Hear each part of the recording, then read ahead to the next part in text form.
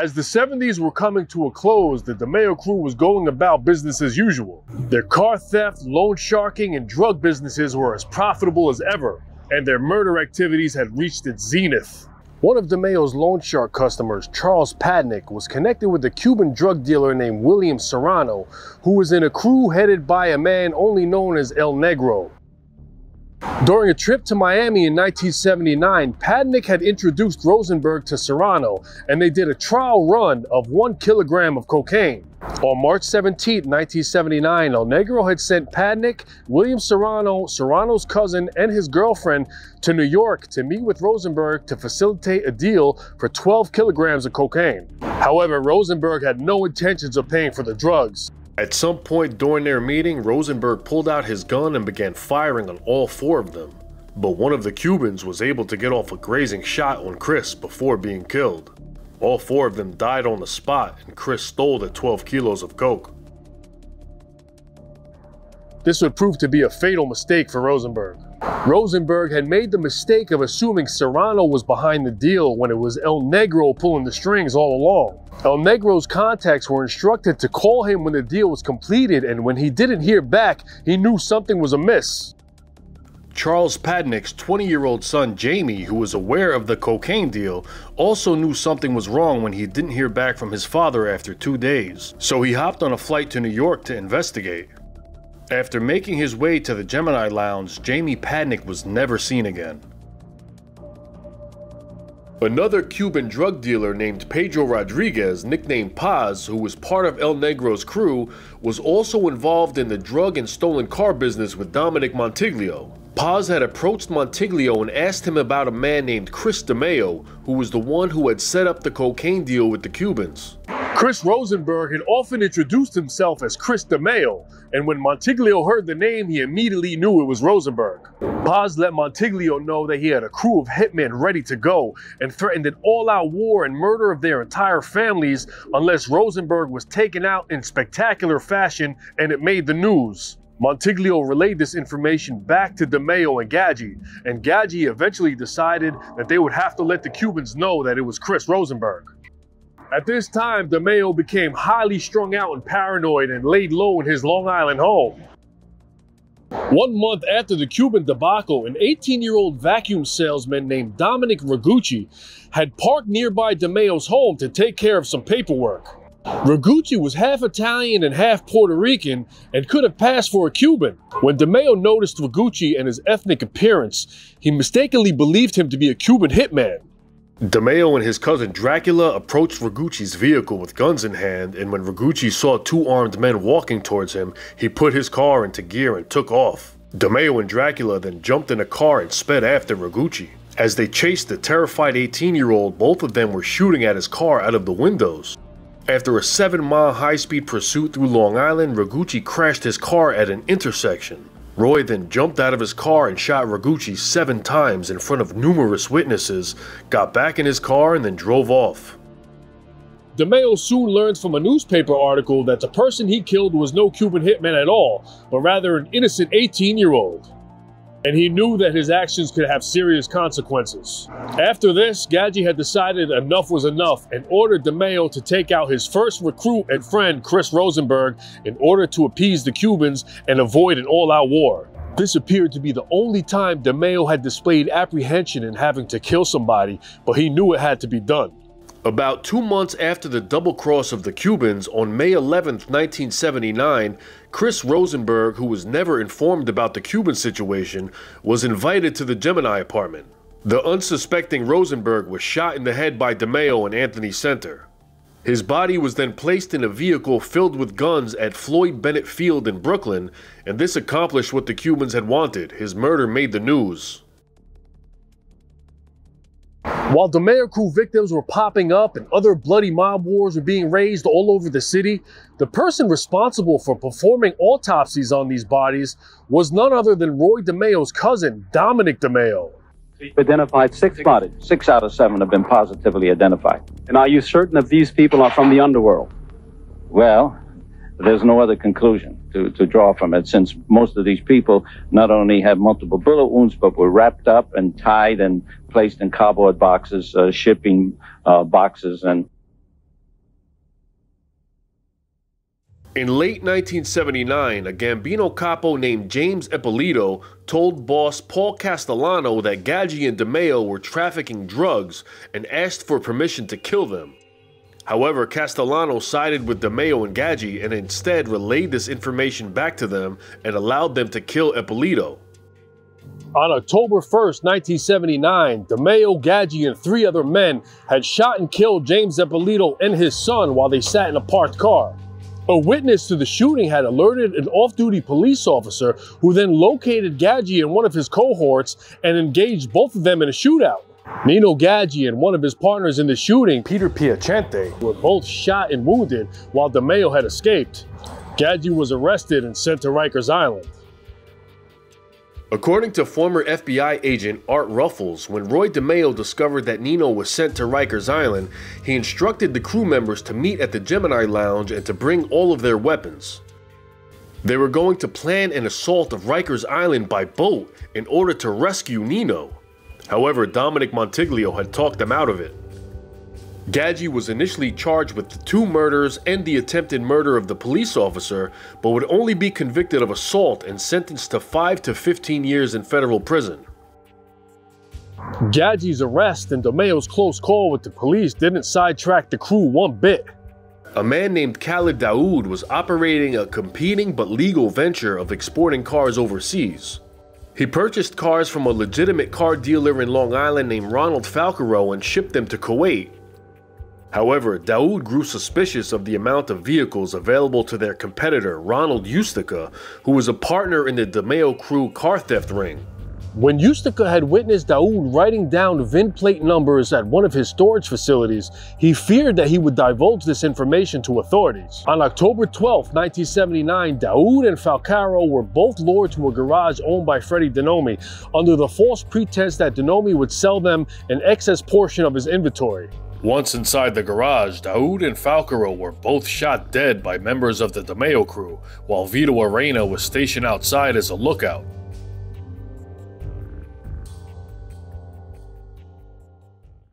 As the 1980s rolled around, the FBI's investigations into the DeMeo crew had increased due to the alarming number of missing people linked to the Gemini Lounge and to the car theft ring. The FBI was being fed numerous tips from informants, and they routinely held surveillance of the DeMeo crew.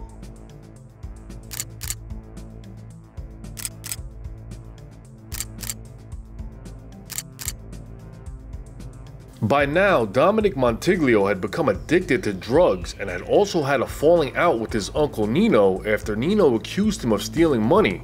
So Montiglio took his family and fled to California.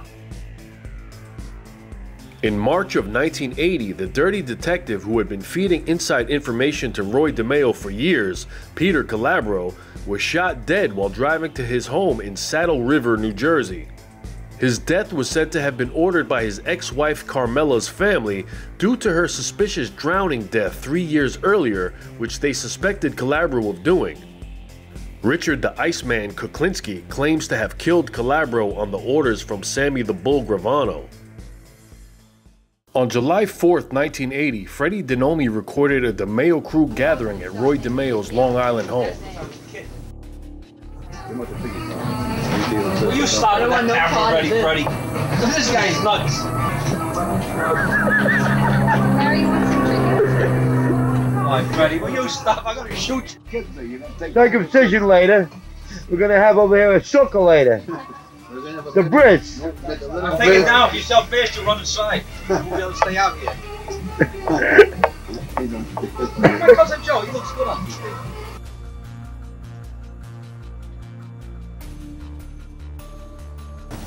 Did you meet my friend Ben? He's one of the Dover brothers. Ben Dover? Dover.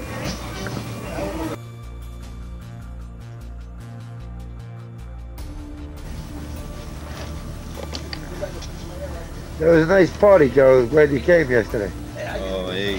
I mean, you know, we really missed you. I didn't hear you. What was that, sir? Avango with that. Yeah, but I, I think the easiest way to do it. It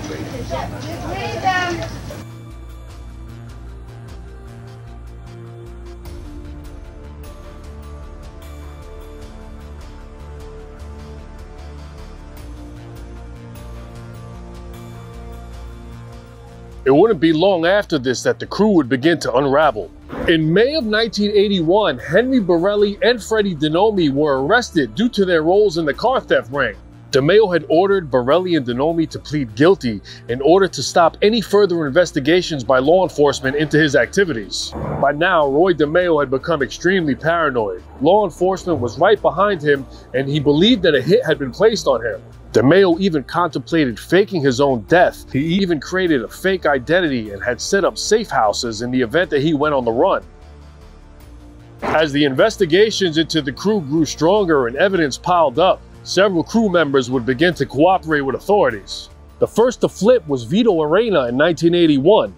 He helped them solve three murders, and one of those murders was the 1978 killing of Joseph Scorney, who was Richard Denomi's partner in the car theft ring. Scorney was allegedly killed because he refused to join the DeMeo crew, and he was shot dead by Richard Denomi and Vito Arena. Scorney's body was stuffed into a barrel filled with cement and was dropped off of a Long Island pier. Arena was then put into the witness protection program but continued his criminal activities, and before he could be arrested again, he went on the lam. The crew was shipping their cars overseas from the port of Newark in New Jersey. In April of 1981, a federal customs inspector discovered that one of the cars being shipped had a missing trunk lock, a dead giveaway for a stolen vehicle. Shortly thereafter, the government seized 76 vehicles destined for Kuwait. In July of 1981, Roy DeMeo was served a subpoena by the Newark branch of the FBI as part of a major investigation into the Kuwait auto theft operation, and he was informed that Vito Arena was cooperating against him. In August of 1981, Borelli and Denomi had done as instructed and pled guilty to their roles in the car theft ring, and each was sentenced to five years in prison. Even while all this heat was coming down on them, the DeMeo crew didn't stop their murderous ways and continued killing all the way through 1981. The crew continued to kill suspected cooperators as well as many others. They also added one more member to the crew, Carlo Profeta, who replaced Freddie Denomi as DeMeo's driver. Profeta also served as his bodyguard and was present on several murders. In 1981, Nino Gaggi's sentence was overturned on appeal and he was released from prison. Gaggi had bribed a juror to make false claims of government misconduct during the trial. In June of 1982, authorities had recaptured Vito Arena and charged him with armed robbery and other felonies. Arena once again decided to cooperate and offered up even more damning evidence into the DeMeo crew's activities. While all of this was happening, Gambino boss Paul Castellano feared what would occur with the unpredictable DeMeo and that the car theft ring would be tied back to him. So he decided that Roy DeMeo needed to be taken out. However, Castellano had trouble finding someone to do the job. He approached John Gotti to take care of it, but even the tough Gotti was wary of trying to take out a dangerous killer like DeMeo, who was also surrounded by a squad of killers. So Castellano switched tactics. He would get DeMeo's own crew to turn on him. Castellano had Gambino Capo and John Gotti's close ally, Frank DeCicco, approach Testa and Senter and inform them that a contract had been placed on their lives as well as the other crew members. DeCicco assured them that the contracts on their lives would be relinquished if they helped to take out their boss and mentor, Roy DeMeo. The twins agreed. On January 10, 1983, Roy DeMeo had apparently met with his uncle, the assistant DA, Albert DeMeo. The purpose of this meeting was reportedly to get some of his estate and will affairs in order, and it may also have been to get more information about the investigation into him and his crew. Later that same day, DeMeo went to a meeting at Patty Testa's garage. DeMeo barely had his coat off when Gaggi and the Gemini twins pumped seven bullets into his head and body.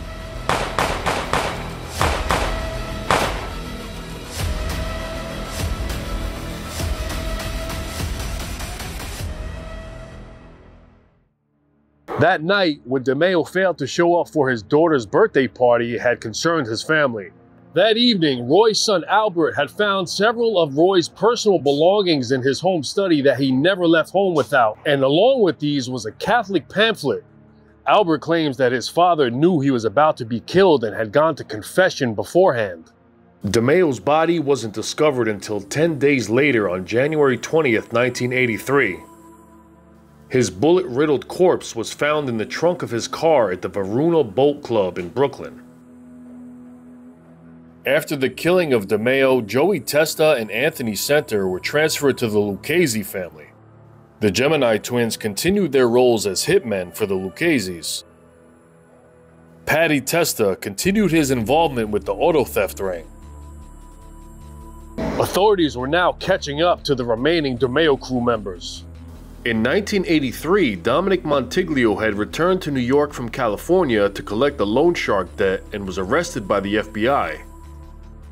Unbeknownst to Montiglio, his loan shark customer had informed the NYPD that he was being extorted by him, and the NYPD in turn passed that information along to the FBI. Soon after discovering that his uncle Nino had put out a hit on him, Montiglio would also begin to cooperate with the government. Montiglio offered up incriminating evidence on Nino Gaggi and the DeMeo crew, and his information would lead to the indictment of Gaggi and boss Paul Castellano. In 1983, the old crook Joseph Dracula Guglielmo was arrested at the Gemini apartment.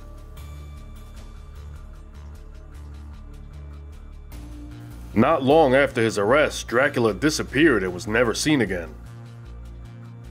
Some believe he was killed out of fear that he would cooperate, but Roy DeMeo's son Albert claims that he dropped him off at an airport and he was never seen again.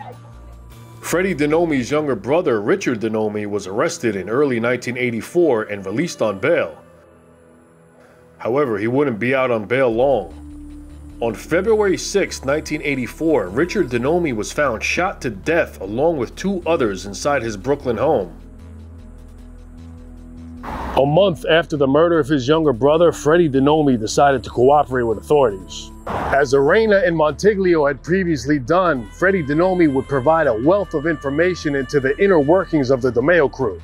During this time, DeNome was also implicated in eight murders. Also in 1984, Paul Castellano was arrested and hit with a 78 count indictment. His charges included car theft, loan sharking, racketeering, and the ordering of numerous murders, including that of Roy DeMeo.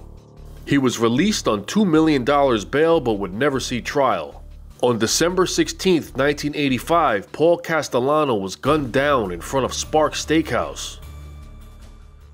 The first trial against the DeMeo crew and the Gambinos began in late 1985 with Vito Arena and Dominic Montiglio as the key witnesses. This is footage of Joey Testa, Anthony Senter, and Henry Borelli heading to court for their first trial.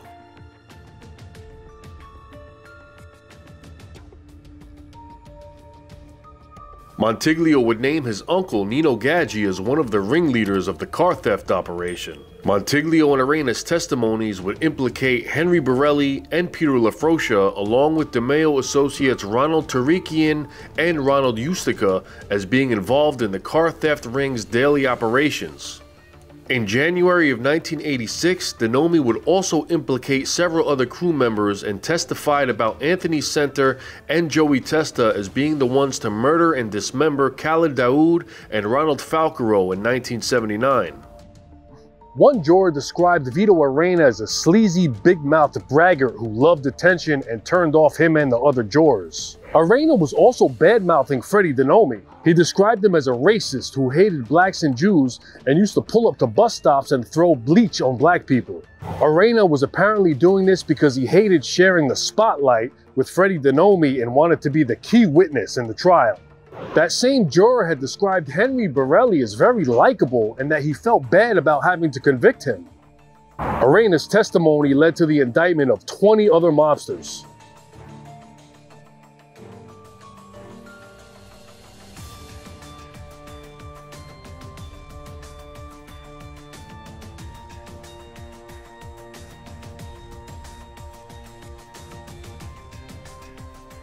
In April of 1986, Nino Gaggi was convicted of conspiracy to sell stolen cars and was sentenced to five years in Lewisburg Federal Penitentiary, but he was also awaiting trial on another indictment of his role in 25 murders committed by the DeMeo crew. Henry Borelli was convicted of murder and car theft and sentenced to life in prison for murder and given 10 years on each of 15 counts of shipping stolen cars. The jury declared a mistrial on the murder counts against Joey Testa and Anthony Senter, and they were cleared of shipping stolen cars. But soon they would both be brought back to trial. Freddie Denomi was in the witness protection program and was living outside of San Antonio, Texas, working at an auto body shop.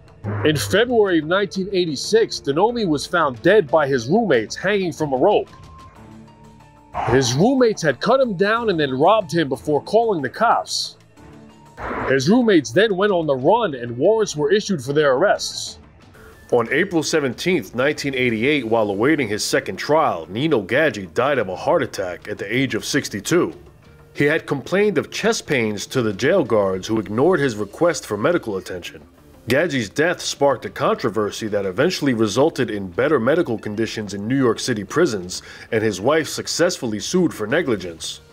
Dominic Montiglio said that Nino always dreamed of dying in the street with a gun in his hand but his end would come in a far less grandiose manner. The final trial in 1989 would result in Joey Testa and Anthony Senter being convicted of multiple murders. Ultimately, Arena, Montiglio, and Denomi's testimonies would get Henry Borelli, Anthony Senter, and Joey Testa convicted and sentenced to life in prison. Montiglio's testimonies in various different trials reportedly helped send 56 mobsters to prison. Vito Arena was not allowed into the witness protection program again due to his previous issues with authorities and his bizarre behavior. Arena had demanded that the FBI pay for plastic surgery in order for him to hide his identity, to which they refused. Arena had relocated to Houston, Texas, where he went back to his old criminal ways. On February 15, 1991, Arena attempted to rob a convenience store and was shot in the body several times by a clerk and then died in the hospital a few days later.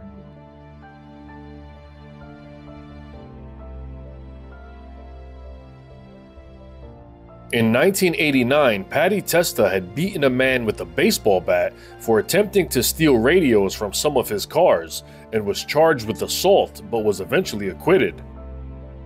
In 1991, Patty joined the Lucchese family where he continued to run his auto theft operation. On December 2, 1992, Patty Testa was in his Canarsie Auto Repair shop when a gunman entered the shop, approached Testa from behind, and opened fire on him nine times, killing him instantly. As of early 2023, Anthony Senter is still alive and is still serving out his life sentence.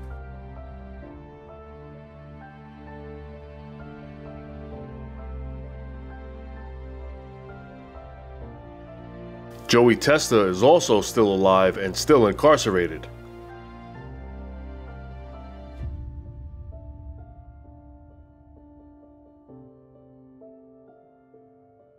As is Henry Borelli.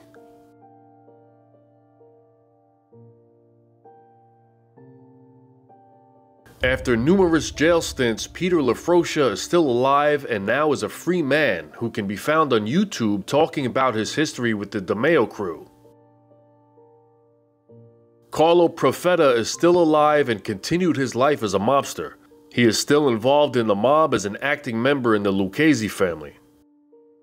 It wasn't until the book Murder Machine, written by Jerry Capeci and Gene Mustain, came out in 1991 that the atrocities committed by Roy DeMeo and his crew were revealed to the general public. Many of the details in this book came from inside knowledge provided by Dominic Montiglio as well as the information gleaned from other informants.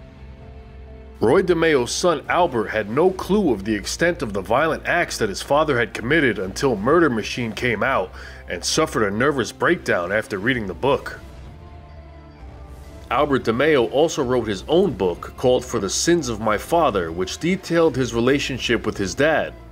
He paints the picture of a loving and supportive father and family man, albeit one who was having him run mob errands for him as a young teen. Roy DeMeo's well-respected prosecutor uncle, Albert DeMeo, was a professor at Brooklyn Law School for almost 40 years until retiring in 1999. He died in 2013 at the age of 101. In the hit TV show The Sopranos, the character of the gay mobster named Vito Spatafore was based off of Vito Arena. Roy DeMeo's son, Albert DeMeo, passed away in 2017 at the age of 51. He allegedly committed suicide. Dominic Montiglio passed away in 2021 at the age of 73.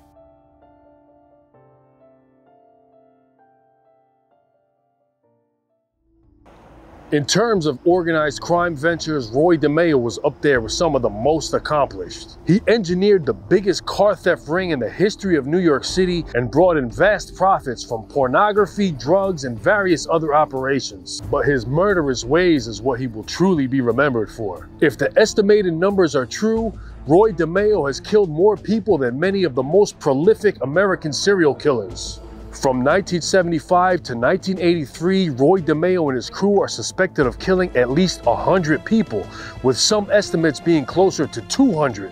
DeMeo was not only a depraved killer himself, but he attracted, recruited, and groomed over a dozen other men who would go on to join his twisted world of killing and dismembering human beings.